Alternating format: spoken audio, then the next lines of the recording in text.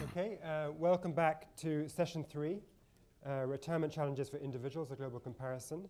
Um, so we heard um, in the first session about how hard it is for a university like Yale uh, to adapt to a world of lower interest rates. In the second session, how hard it is, uh, you know, for uh, a state like Connecticut to revise uh, the public pension system. And in the third session, um, of this uh, Stephen C. Freidheim Symposium, we are going to hear about how individuals adapt. Um, so uh, perhaps we'll find that uh, individuals are more flexible than the institutions that society creates collectively, uh, but we'll, we'll, see where we get with that. Um, so I'm Sebastian Mallaby. I work here at the Council on Foreign Relations. I have uh, right next to me uh, Teresa Ghilarducci, Professor of Economics at the New School for Social Research. Uh, we have uh, Neil Howe, uh, Managing Director for Demography at Hedgeye Risk Management. And on the screen behind me and in also in front of me, actually, um, we, we have Andrew Scott, Professor of Economics at the London Business School. Uh, uh, and um, author of a book, The Hundred Year Life. Um, we'll get to, you've both written as well, we will get to that. Um, I'm going to start with Neil. Um, we know that uh, it's sort of a, a, a, truism that individuals have a hard time saving for retirement. Um, but you've made an additional point, which is that it's particularly hard to persuade people right now that they should worry about preparing for retirement because the current crop of seniors is actually extremely well off. That's the secret. Can you expand on that?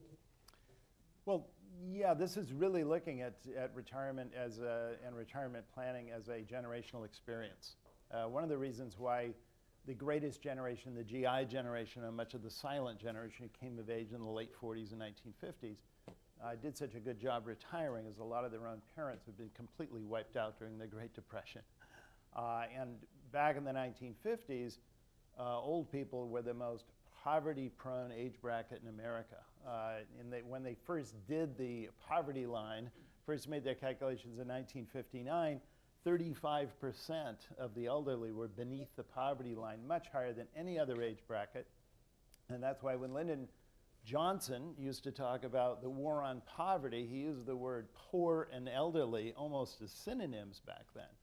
Well, flash forward today, where the silent generation is now comfortably over age 65, uh, and I just relate to you the sort of a preview of the most recent issue of the uh, Survey of Consumer Finances. This comes out by the Fed.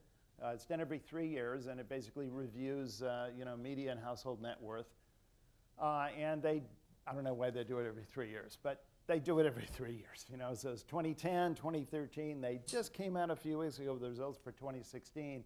In addition to showing that, you know, average, you know, net worth has improved with the recovery of the economy and markets are doing better and so on. The most stunning news was underreported in that for the first time ever, the highest median net worth of any age bracket is 75 plus, right? And this is a rags to riches transformation of seniors in America. So this group is up there. They're more, they're more likely to own houses. They own more, on average, more stock still in their 80s and early 90s than any other, gen, you know, any other lower age bracket.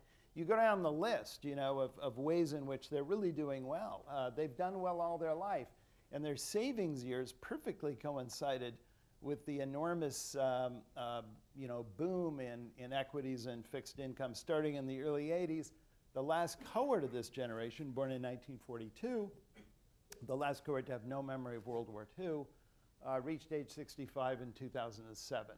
Perfect timing. And then after cashing in, then they had low interest rates and quantitative easing. And we often say that low rates of return penalize uh, the elderly and savers it penalizes savers, those who have yet to save, but it usually benefits those who've already saved. And so this group actually found their median household net worth in real terms actually increased by over 50% in just over three years. So the, this, is the, this is the issue to come back to this. So that they saved a lot and they made sure that political institutions bolstered saving because of the experience of their own parents. And Meanwhile, boomers and Xers are looking at this group and thinking, I got it made. You know, I have a, a defined, uh, defined uh, contribution plan. I'll put in 6%, 7%. Uh, who cares where it goes? Maybe I'll roll it over, maybe I won't. But it's, it's looking at their own parents' experience. And I, I just think that almost this is something economists don't talk about, but I think as a sociological reality is that generations look at the experience of their own parents. And when they see their own parents generally doing okay, they just don't see much urgency And, and just it. quickly, vice does that, does that picture mask large inequality amongst the over 75s, or is it a pretty uh, low Gini coefficient? Um, Remember, I was talking median. I wasn't Mm. talking mean. mhm. So I'm talking about your typical person age 75 plus. Now, I, yeah, so it's not just all Warren Buffett, you know, Well- all that money up there. that. But but my point is is that is that is that this is a and by the way, the Gini coefficient of that group 75 plus is lower than any of the lower age brackets. They're much more likely to own homes, which is the one more biggest reason as opposed to younger age brackets. Did you want to jump in, Teresa? Um, yeah, the, the, we used to have a society where the Ginis did get lower the older you got, but the main contributor isn't home ownership or savings, it's Social Security. As Social Security really um, compresses um, um, income. The- also, I, uh, I was just going to mention yeah. the Fed data doesn't re- it just looks at assets. right, so it doesn't, does, it doesn't look value at the, the present wealth. value of Social Securities. Yeah, and that's actually a, a big story for the, for the advance of the elderly, as well as defined benefit um, plans. They- yeah, they which had that we too. got. Yeah. So I, I think that Didn't it's count that important either. to talk about how households are prepared, but not because of households or individuals' um, decision about current consumption or, or future consumption. It's about the institutions with which um, households save for their retirement, and it's those institutions that have really changed in So, the past so, 40 so years. some, some combination of different institutions, social security, defined benefit plans, combined with what uh, Neil is saying about the fact that wealth results for savers in that generation were extraordinarily favorable, has made the current generation of people around the age of 40 feel less exposed.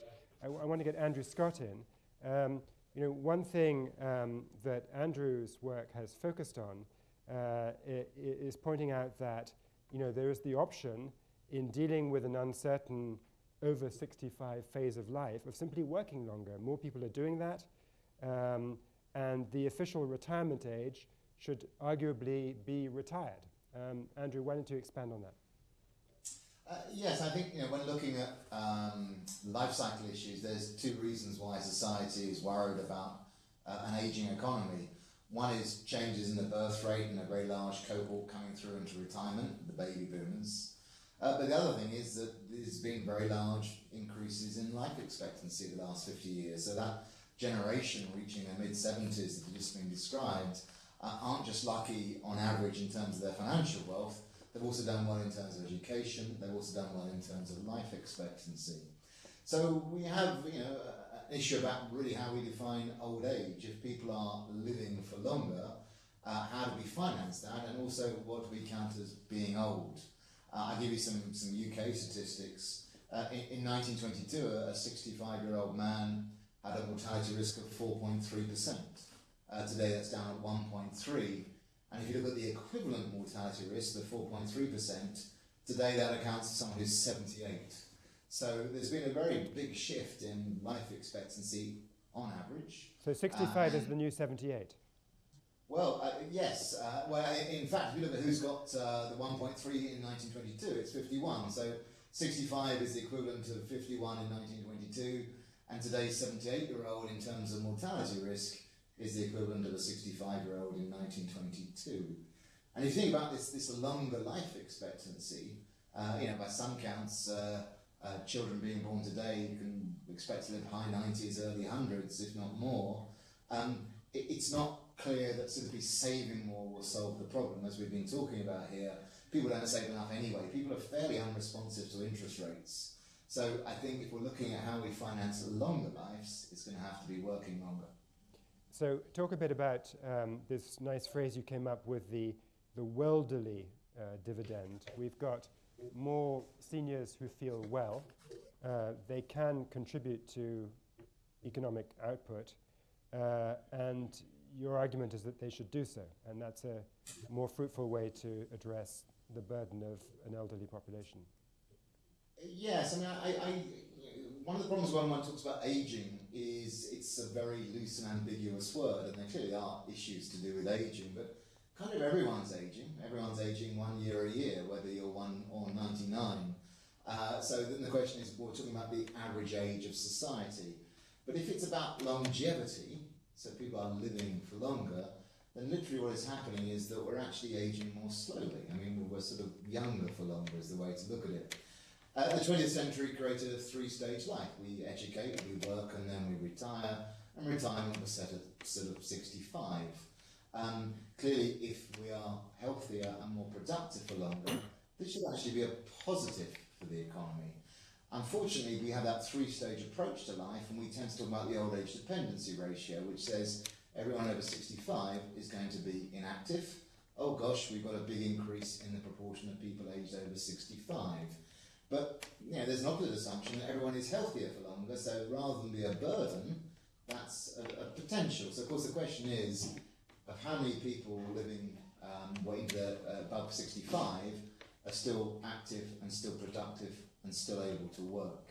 And of course we are seeing globally big increases in the proportion of the population still at work after 65. In the US, having declined for almost con continuously throughout the 20th century and reaching a, a low uh, in the early 80s, we've seen the proportion of uh, people over 65 still at work up to 20%. Uh, I think over 70 it's up to 10%. And we're seeing similar shifts elsewhere. Teresa, do you want to respond to that?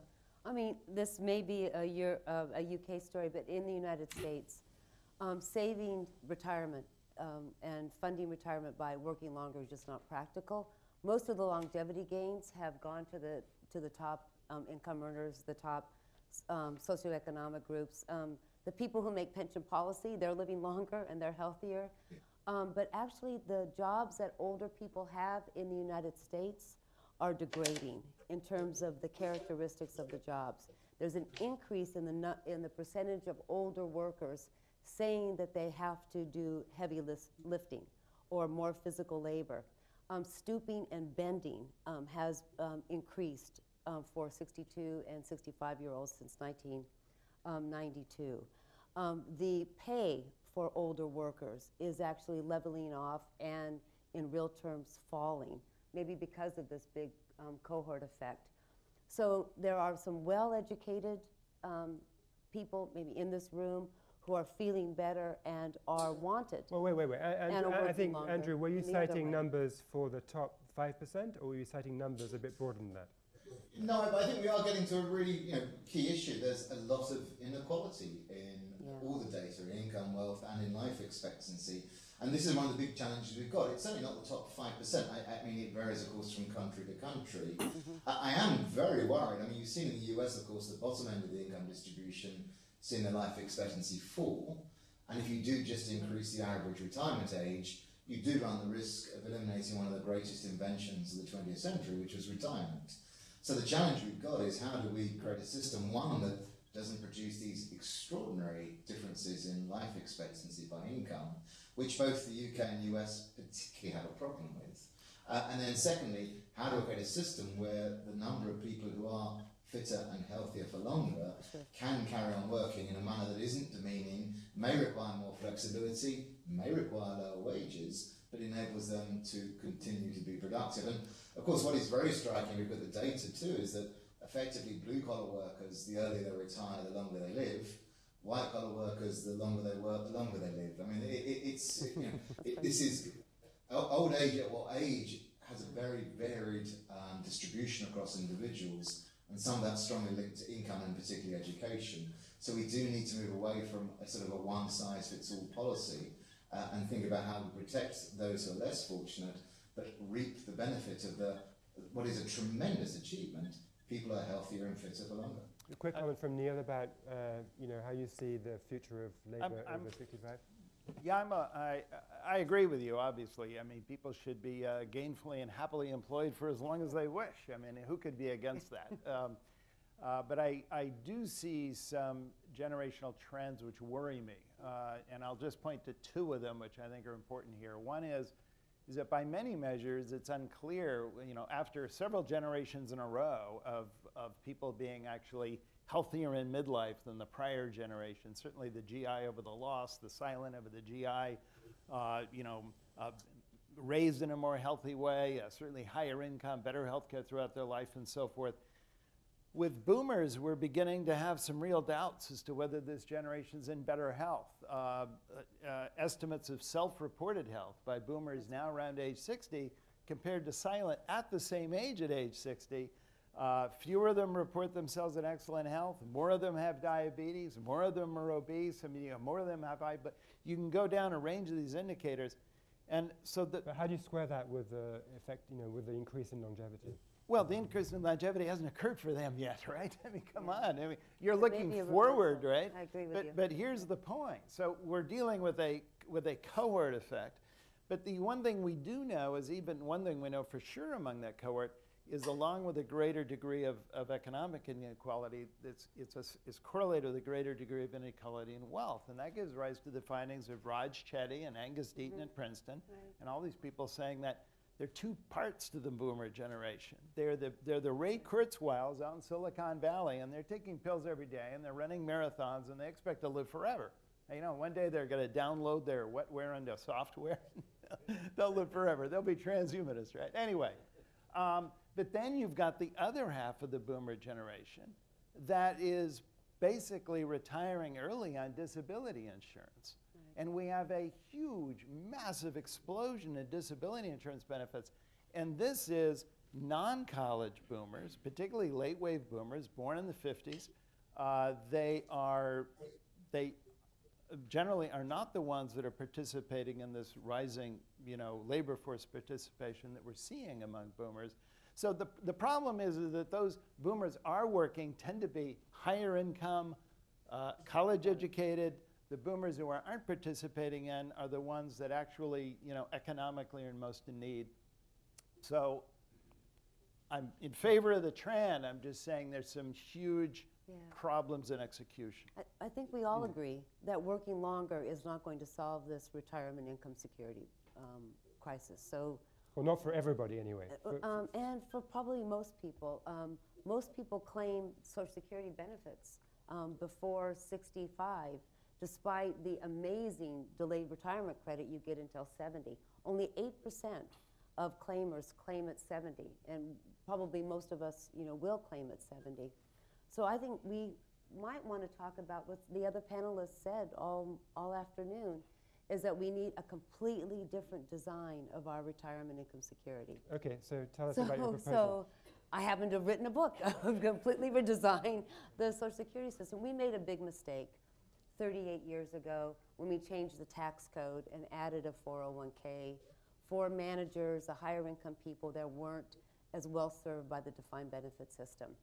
Um, it was never meant to be the retirement income um, security system for America, or else it would have been called the great American retirement income security system rather than a small part of the, the tax code.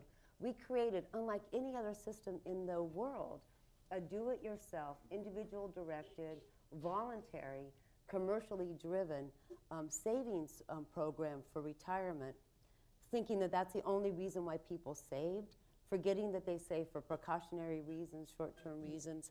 And we gave tax favored retirement savings incentives for people to, um, to take out money whenever they needed to.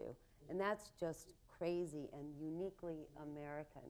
So we need to actually um, bring in some um, elements of Social Security and defined benefit plans to mandate, even though I'm told in Washington to use the word universal. but I want an opt in and stay in program. Forget Richard Thaler, who just won the Nobel Prize. Nudge isn't enough. So a mandatory supplement above Social Security. Um, my co-author and I, Tony James from Blackstone, have proposed a minimum 3% mandatory savings on top of Social Security. Professionally managed, like defined benefit plans are managed, so that you could match long-term liabilities with some long-term investments. Because now we built a system where people can only invest in short-term liabilities, and require most of that assets, mo- yeah, uh, yeah. short-term assets. Thank you, and um, and to have that um, money be distributed mostly uh, as an annuity, as a lifelong benefit. And if people want anything more above that, then let them do it, but we need a, a, a higher floor. A- Andrew, is there, a, do you think, um, a paradox of thrift here potentially? You've got a situation where um, part of the challenge of people living for a long time beyond the traditional retirement age is, you know, elicits the re- policy response, okay, let's drive up national savings uh, with a mandatory universal uh, add-on pension. Yeah. If, you, if everyone's saving more uh, and we're worried about low interest rates, we're going to have lower interest rates, aren't we? Uh, it is. I think if you look at the general equilibrium, though, it also depends on investment. And if people, uh, a, a large block are moving into retirement, then we're going to have an excess of capital, and we don't need so much investment, and the rate of return on, on, capital will fall.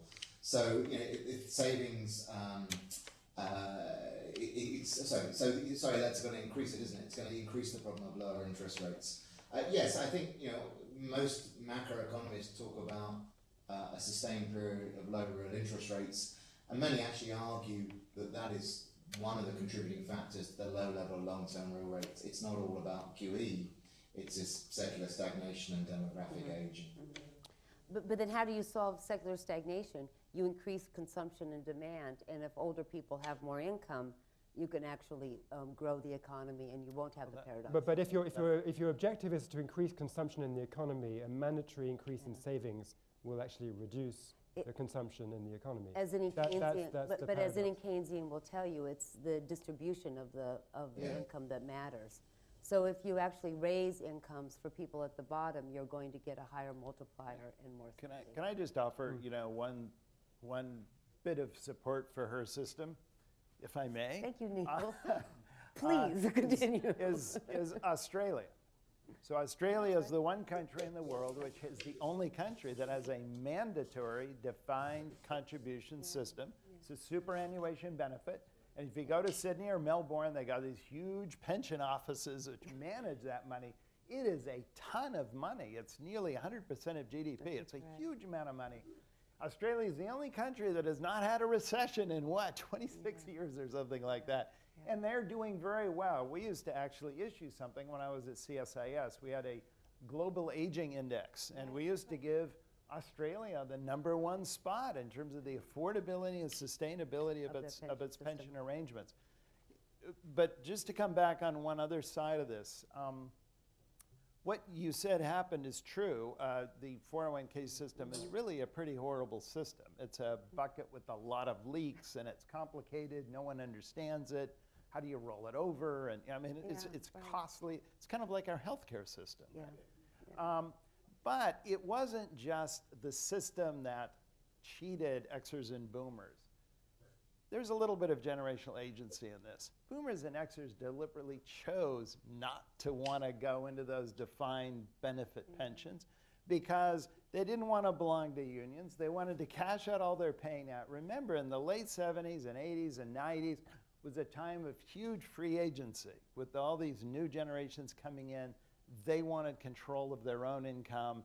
And as Jack Welch used to say, you know, I pay you at the end of the week on Friday and we're even, you know?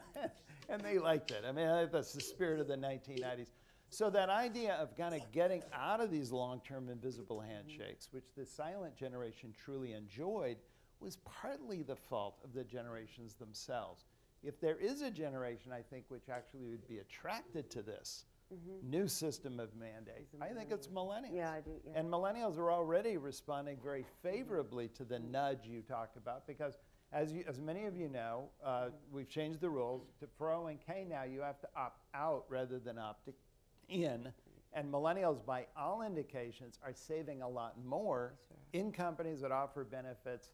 And I go, I go uh, see co- uh, corporations all the time, and the benefit managers, you know, when they were at old benefit seminars, all these people in the late 20s, early 30s showing up, Yeah. and no one in their late 40s or 50s are showing up, uh, despite the fact these extras really need the benefits more. But, Neil, but just, just one other thing about you. You mentioned Australia.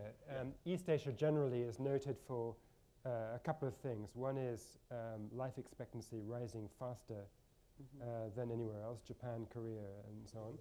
Uh, and, and secondly, not in Japan, but, but in parts of East Asia, um, more talk than action in terms of safety nets provided by the government for retirees. So you've got this, this huge aging and rather few public promises towards those people. What- so the response is precautionary saving, Yeah, this huge. which It's is going to drive up uh, global imbalances, drive down global interest rates. So some of what we've been talking about in this symposium of a low interest rate world. Remember Bernanke and, you know, Chairman uh, uh, Greenspan and Bernanke both talked about, you know, excess savings from Asia. And I think that was what talking about. But just to back up, I think it's important that everyone understands that two thirds of the aging, when you talk about aging, you know, increased age dependency ratios, you know, age pop- proportion of the population age 65 and over relative to the working age population, these kinds of ratios.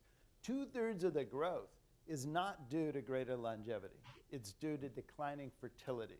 And I often have to remind people that the reason why we have such an older world is not because people are living that much longer. Yeah, they are living longer, and they're living a little bit longer in you know South Korea and Japan than other places. The real reason is fertility rates have plummeted. big- fertility rates are down. And the thing people, because this is directly relevant to explaining why we have low rates of return, and that is the working age population is no longer going to grow in most areas of the world. It's going to be shrinking in Europe. It's going to be shrinking in most of East Asia. Um, and with productivity also declining on trend, with a declining workforce, that by just every kind of neoclassical equilibrium model just shows that the marginal return on capital will fall. And, and that's what we're experiencing today. This is not a quantitative easing thing. This is not a short th- term thing. This is a long term difference in kind of market equilibrium due to the fact that we have a lot more capital being generated, but a lot less need for capital broadening investment. You don't have to build new houses anymore for working age people. You no longer have to build new factories. You, no longer have more people in the working age population from one year to the next. Um, and we have a lot of people reaching older ages when they're saving a lot more. So we got a fundamental alteration in the supply and demand for savings. I want to see whether Andrew, has the disadvantage of being remote, Yeah. wants to comment on that. Yeah, no, lots of things. I, I do certainly think in terms of uh, East Africa, uh, East Asia, sorry, uh, it, it very much is um, the decline in fertility rate that is driving the increase in life expectancy. I think elsewhere uh, we're seeing increasing, it's about longevity, although that's the trend of the future. I, I really like a number of points that come out so far because we started talking about generational conflicts, you know, one group is much richer than the other. But I think what comes out very, very clearly from all this debate is actually whether you're young or old, there's a big inequality challenge in the States. And going back to the, uh, um, the Social Security um, reforms that are suggested, that's fine to do a 3% top up, but if I haven't got any money, 3% of nothing isn't going to give me much when I get old. that. So, uh, no, absolutely, but there has to be some form of uh, a, a transfer, and I think you know that, that holds both amongst the elderly and, and amount, amount amongst uh, uh, the young. Um, uh, so, I, I, you know, I think that that is crucial in, in terms of demography. The only thing I would warn against is, you know, if you look at the last 100 years, so take for instance the UK, we've seen the ratio of workers to pensioners go from 14 to 1 down to 3 to 1. Uh, and it's going to go lower, but there's already been a very, very big fall. And I don't think that that decline has been responsible for the UK's economic malaise over recent decades. You know, there are a lot of things that happen in the labour market to adjust, whether it be an increase in female participation, whether it be an increase in the elderly participation rate, that offset some of these forces. So one thing we do know is that demographics is a big driver of the macroeconomy, but it's not destiny. There are lots of things that offset some of those changes. I want to go to members uh, for questions. So remember, this is on the record, and if you have a question, please uh, wave your hand, and uh, we'll come to you. So I can see one right here. Hey, I'm Allison Schrager. I'm a journalist at Quartz, and um, so I I like your idea that to you know change retirement saving to be focused on long-term liability. But how can you get people to agree to annuitize? I'm thinking Andrew can speak to. In the UK, they used to have mandatory annuitization. People hated it so much they had to get rid of it. Now everyone's spending their defined benefit lump sums. Exactly. Uh, so how can you get people to start thinking more in terms of retirement income? Um, Um, Are you directing that to somebody in particular, or, or Um, so, Go for it, d- I, um, Allison, nice to see you, um, finally. Um, so we would pay um, for, to answer you, Andrew, for this uh, mandate three percent for the bottom half of the uh, populate, working population who, who have not gotten a raise, you know, for the past 20 years, by redistributing from the wealthy to the lower income. That's a redistribution that really matters. Um, the Republicans were right last week. I can't believe I said it, but they were right that the tax um, deduction and benefit for retirement savings in this country is lopsided. It is really benefits the very wealthy, and it doesn't do anything for the bottom third of savers. So we are proposing a refundable tax credit to answer your question. So you don't even have to think about it. The government tax, refundable tax credit will pay for your 3%. Um, if you look at every poll, Gallup, um, Pew, um, um, the HSBC did, does a poll, and you ask Americans and you ask people across the, the world, what is your top economic concern? Even in 2009, they said it was retirement security. We did focus groups of Trump voters in December in the four famous um, states Wisconsin, Ohio, Pennsylvania, and Michigan. And they voted for Trump, and they're the most worried about retirement security. And a lot of that is folded up in their concern that their employers will want them at 63, or if they can find a job that they can do in, um, you know, at, in, their, in their late 60s. So I don't think it's a problem motivating savings. Even I, so, I beg to differ from you. It's not an individual choice about savings. It really is about the incentives and the and the trusted environment to be able to do it. I mean, I guess whether you, whatever you think is the right balance between uh, longer working and more saving in terms of providing for retirement, if you're going to have some more saving, it doesn't make sense to have 80% of the benefits from tax incentives for saving go to the richest 20%, which is a number I've stolen from Yeah, you. exactly right. no, no. And, and I got it from the you know tax policy center, Um, and the Republicans know it too. Andrew, did you want to say something? Uh, uh, uh, no, I, I think this is the heart of the challenge because I think it's actually hard enough for those people who got the resources to focus on long term. Uh, you know, there, there's two challenges here: how people transfer money across their lifetime, and then how we transfer from those who have resources to those who don't. And clearly, the system has to combine both. Uh, I, you know, the, it, getting people to focus on retirement income can only be something for those who've got spare resources. And I think if you look at low rates of return, you look at the traditional charges the financial system's made, I think you can see actually why a lot of people don't focus on long-term savings. The annuitization question you raised i- is, is a real one. Uh, and annuity markets don't work very well because it's a classic case of asymmetric information. Uh, it turns out that people know a lot more about how long they're going to live than anyone else does. No matter how much they measure you, no matter what they prick in you, and you know, how, they- you know what they how they test you, you know more than they do. So that's a problem for these markets. Um, I don't know whether government would have to come in and some guarantees there. That's going to make the whole system a lot less palatable politically. I think, as well as Yeah. your subsidy thing, I think that makes it a lot more politically problematic. Uh, but but that is a problem. I would say that one of the reasons it hasn't been a, so much of a problem, in fact, is it turns out that a lot of the people like you know. Uh, uh, Milton Friedman and Modigliani, a lot of these people developed the life cycle hypothesis of savings is that everyone's object is to, is to actually die with zero dollars in their bank account, right? And that's kind of what we want to do. That's what annuities help you do, right? But it turns out that's not actually how people actually live their lives.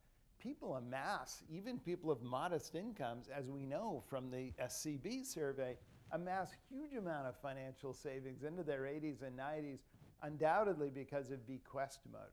Oh, I So- think it's long-term care. They're capitalizing their long-term care risk. Well, Yeah.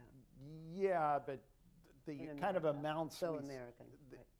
Yeah. Um, In, in any case. Some bequest but- motive but- probably but- exists. But Yeah. that in itself would be a problem for annuities, right? I mean, annuity wouldn't That's suddenly, that's right. you know, so, anyway, Sorry, let's go over here. I'm Yeah. sorry. I'm sorry. sorry. Stephen Blank. What happens, given the increasing uh, role of the gig economy, Yeah. uh, gig jobs in, in, in all of this, what do you do with, with savings then when people don't even have continuing jobs, Yeah, don't we- have a continuing employer? How does all that work? I mean, that, I mean, we actually have um, more secure jobs than we did when Social Security was passed. And that was the Social Security um, answer, is that people go from job to job. They actually have, um, we, we measured like, you know, four big income shocks, you know, during their lifetimes. They don't just have a steady um, job. So you need a portable, uh, mandated savings on top of Social Security that, that does not depend upon the employer. So that, that was, that's an easy question. On annuities, um, you're right, Neil. A individual annuity market works as well as an individual, you know, healthcare market. It doesn't work. not good. The only way you can actually have an annuity that makes sense or big, big group annuities like TIAA, um, or Social Security, or, or a big government. So I mean, we, it has we, to be government. we do have Keogh plans, we have SEPs, we have IRAs, we have a lot of things available. I mean, I've spent most of my life actually, only like two years of the last 30 years have actually been employed. So I, I'm very comfortable with this idea.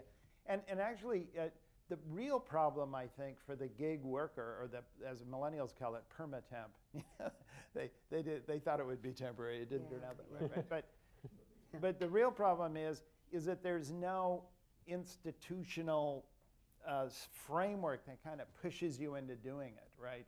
And, and you know, we're all social Right. animals. We all respond to that's that. And, and when you're out on your own, you think, I'll do that next year, I'll do that. If you are truly disciplined and you take advantage of these plans, they're every bit as you know, generous as the ones you get you know, in your 401k. But the problem is people generally don't, you know, as Richard Thaler and all these behavior people say. No, I mean, we should generally- create a system for the humans we have, not try to change the humans we have to adapt to the system. The humans we could have. Yeah, right. Um, yeah, so that, so you just made my point. We need a mandated savings on top of social, social security that, that is, that is portable and it's progressively funded. I mean, it's sort of as Allison said earlier, you know, in a defined benefit world, um, underfunding is a feature, not a bug. Yeah. Actually, in the individual world, underfunding is also a feature, not a bug. I mean, it, that is how people are. They just do underfund themselves. But, um, and, and actually, we want those kinds of humans. Um, you know, people who are overly cautious, they'll hoard. We hear a lot about old ladies who um, have $25,000 in a shoebox under their bed. That's a tragedy. And we're finding um, in this survey of um, health and retirement survey is that having a uncertain retirement income is causing its own nutritional problem among elders because they're so afraid to spend they have no other way to actually capitalize their longevity or capitalize their health risks that they're skipping lunch. I mean so our system is building in kind of nutritional problems and also a level of anxiety among 75 year olds that is so unnecessary and I'm glad you save into your IRA or your SEP or your Keogh, but you actually don't have a good way to invest it or even monitor the fees. let's go. Let's go to a question over here. Yeah, sorry. John Beggs, retired from TIAA CREF. TIAA, uh, a point on the annuitization, uh, we had a requirement from 1918 when we were founded until late in the 80s that you had to annuitize. There was no other way you could get your money out of the system. It was the biggest annuity system in the world, but that was absolutely mandatory. In the stock fund, that could be, uh, but uh, the riots and the, at the universities and not riots, but the pressures on us. They seem like riots at our annual meeting. so we finally broke down, as you said. Uh, actually, the, we lasted as long as the 80s, which is sort of remarkable given taste for freedom that yeah, people got earlier. Uh, but I have a, a, a question that's baffled me is I've never seen any economic study on this. Is the typical defined benefit plan was mandatory, no employee contributions, and costs the employer about 9% of the payroll. Uh, and, very, and that was a sort of the median but most common uh, plan.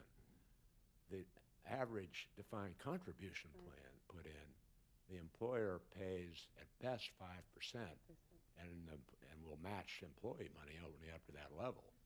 And so may not even pay 5% of the payroll.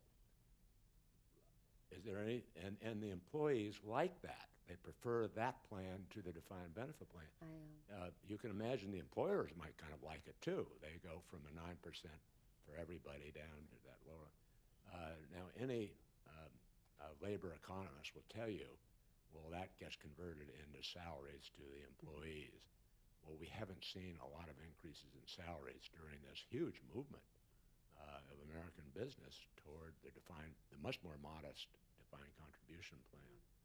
Um, whether it just takes longer for that uh, adjustment to occur, and maybe it will occur eventually, I sort of doubt it. I've never been totally convinced at the. Yeah, so there's sort of a mystery here about why workers were happy. Maybe Neil could comment on this. Um, you know, did they? Is it simply what you said earlier that there was a zeitgeist that favored the perceived freedom of an account that you controlled, and Well- that was worth four percent? You know, Robert Putnam at, uh, at Harvard, probably America's preeminent sociologist, wrote a book about it. He called it Bowling Alone. Why, why do Americans do everything as individuals that we used to do as groups? And he found that two thirds of the explanation is generational. That is to say, people born from the you know mid to late 1940s on started doing things more as individuals. They wanted to opt out of paternalistic institutional solutions which they felt disempowered them. I, Uh, I want to cash out now. I feel I can do what I want with my money. I think it was partly also uh, given a added push by a lot of talk in the late 60s and 1970s about enormous productivity revolution. We had incredible projections about what our economy would be. So it was like a cornu- cornucopia out there of, of how America was going to be. We were going to have flying, you know, uh, flying cars and, and, and monorails and dome cities and all kinds of great things.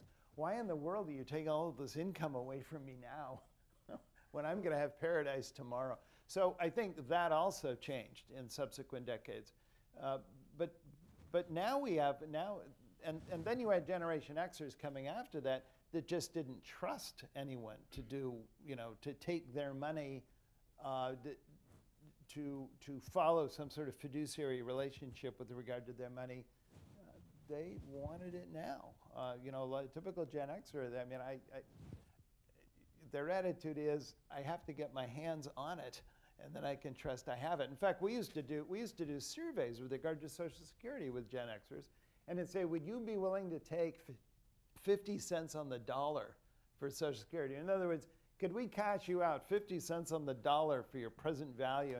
Most Gen Xers say, absolutely, I'll take it. Well, I'm just saying, older generations would not have said that. That's my only point. I- and so, hmm. Neil, What? I, know, I, Neil, I think your, I think your evidence isn't there. Um, one of the reasons why um, George Bush's uh, privatization plan fell flat on its face is that people understood the value of insurance or paternalistic social in, um, security and didn't want that extra money to manage themselves. But also, this is the way I understand the history.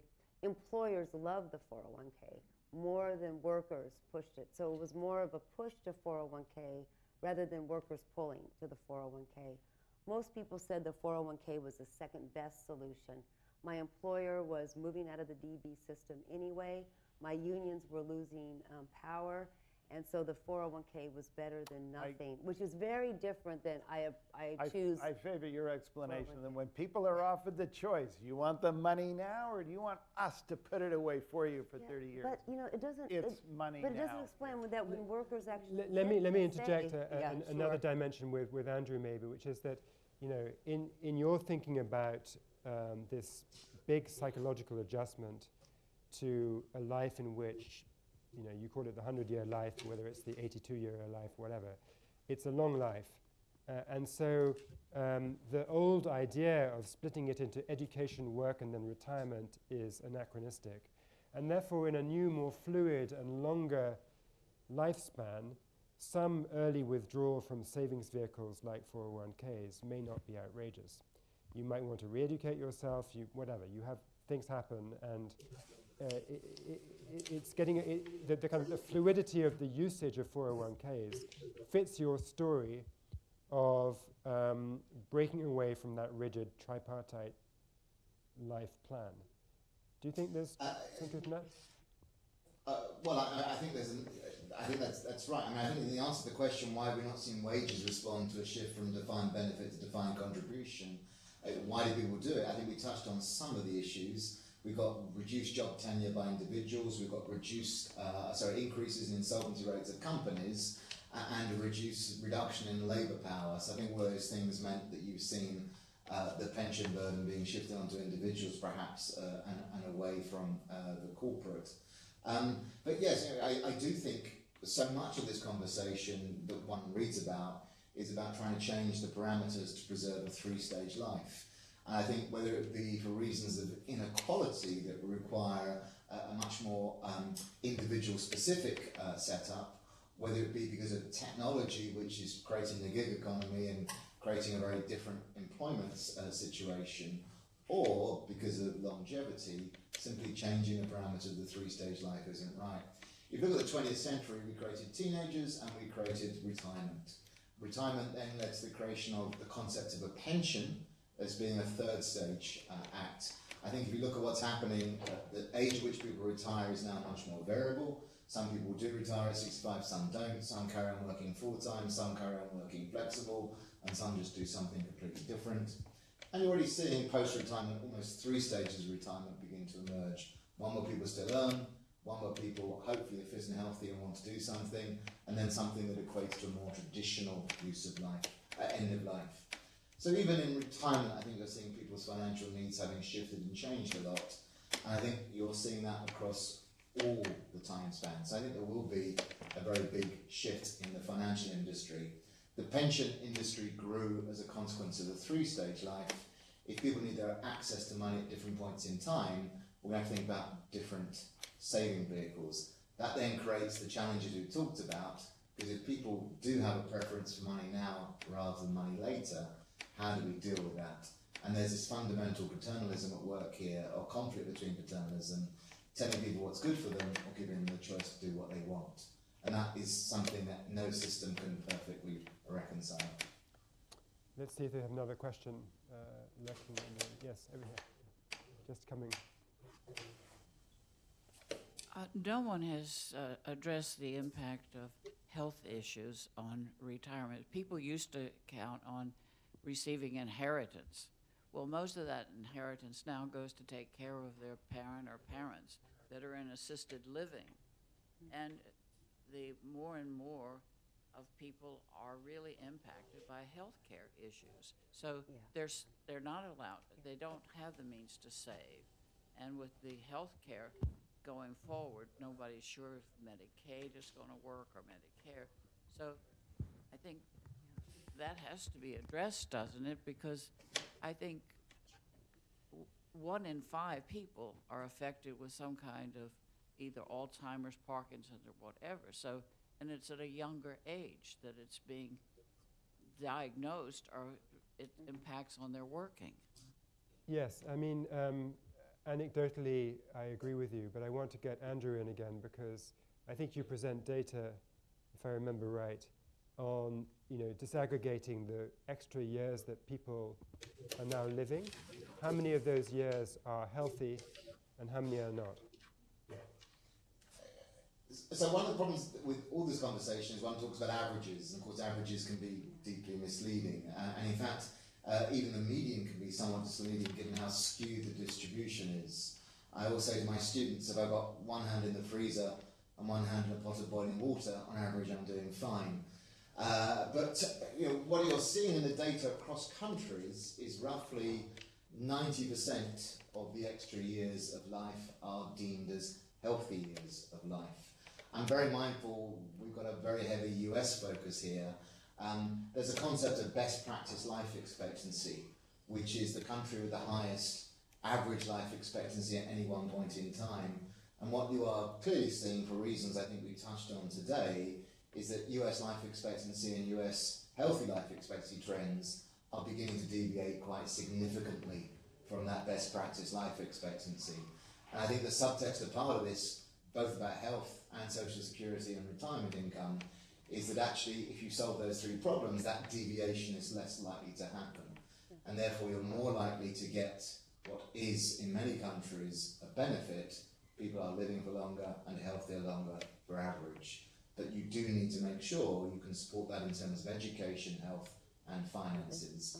And the, and the gap between best practice in the US is getting quite uh, extreme right now. And I do think that is to do with the inequality trends we've discussed. I, I have some data, some new, brand new data on the U.S. Um, women are much, um, they live about three years longer than men do, you know, at age 65, which is all age 65 mortality. But they're twice as likely to live um, um in, with, with morbidity. Um, so they, um, about 30% of women live with three or more needs for assisted need, assistance with daily living. Um, black women, almost uh, uh, 40% of their of their post 65 lives are, are spent sick. sick. 12% of men, white men in the United States, die before they ever retire. They're dying in their boots. So that um, I can't emphasize Andrew's point even more. He's not, you know, um, based in America, but the inequality of morbidity, of longevity, and of wealth and income security is really skewed here a lot of people um, are um, hoarding their, their cash, not for bequests, but for those last four or five years. They, even though Medicaid pays for, um, for that's our long-term care insurance, people are very afraid of going into Medicaid um, um, nursing homes. You have someone, uh, Allison, who has an annuity plan and the same present value in a defined contribution plan at um, over 65, you're much more likely to have signs of depression if you have a, um, a lump sum rather than, than an annuity. Um, so we need to add long-term care insurance to Medicare. That was a proposal in the ACA. At the last minute, it was taken out. It would cost a little less than 1% of payroll to add decent long-term care like many other countries have. So that's just, a, I, I, that's my answer to your concern about longer lives and longer morbidity. Yeah. Long-term care is even harder to price than annuities. Uh, you know, just in terms of the moral hazard and who uses it, and uh, it's it's very difficult because it gets into questions of whether family members should be yeah. living with people and so on. Uh, I would just say I wouldn't, or I wouldn't design a retirement system to solve a, another huge problem which should be solved separately, and that is our completely dysfunctional, out of control healthcare system, which is absurdly expensive, focuses only on acute care, and has utterly mediocre results, right? So uh, none of the other countries, many of which have very high longevity, high, much, much higher than the United States, you know, South Korea and, and, and Japan come to mind, uh, have this problem with extra expenses for healthcare, right? So I wouldn't want to I wouldn't want to sidetrack a retirement system to pay for really a problem that we should solve. Solve know, in I get it, solve but it is an issue about retirement security as health. I, I, I, I suffer from that, But it- um, but you have to address it. And the, the only other thing I would do too is, is simply to talk about, I, you know, because I, acknowledge there are a lot of sick older people, and, and you're right. I mean, elderly women are, are sick more than men, partly because they do live They- they longer. live- they're There- there are alive. more of them. They're alive. Um, but I don't want to overstate this. Um, uh, the elderly today are healthier, better educated, more capable than we've ever seen before. They stop smoking. But, well, they've That's stopped really- smoking. That's really the big one. But one of the things that we've seen, I mean, an interesting uh, statistic uh, that, that was just unearthed, I thought this was sort of instructive when you, when you look at, kind of take apart the data, is that if you look at everyone over age 65 uh, and look at those who live in households with younger children, that is to say, adult children, about 14% are the heads of households taking care of elder children, living with them. Only 7% are dependents living with a, a, a adult child that's taking care of them, right? And So, only so grandma doesn't move into the kid's house, it's the other way around. Exactly. And it- this gets back to how Oh, the is elderly are doing pretty well today. Only 2% are in, in institutionalized care. So I just, because I, when I speak to people, I find that their perspective is, my God, they're all frail and dependent, and they're all living with their sons No, and daughters. right. That is not the reality today. Uh, and, and, and one of the reasons we see this movement back toward multi-generational family living is partly because millennials don't mind being with their boomer parents. They really get along with them. I mean, it's partly a, a difference in generational aff- affinity, but also because we see a graying of wealth in America. That's where the wealth is. And so younger adults are actually sticking with their families longer, whereas in uh, earlier generations, they would have They would've gone off to make So I, I'm, I'm going to seize on that uh, uh, assertion of intergenerational love and harmony um, to end the symposium on, a, on a relatively uh, happy note. All right. So uh, thank you very much to Teresa. thank you to Neil. Thank, Thank you you, to Andrew. Andrew. Thank you. Nice to meet you. Nice to meet you. Thank you.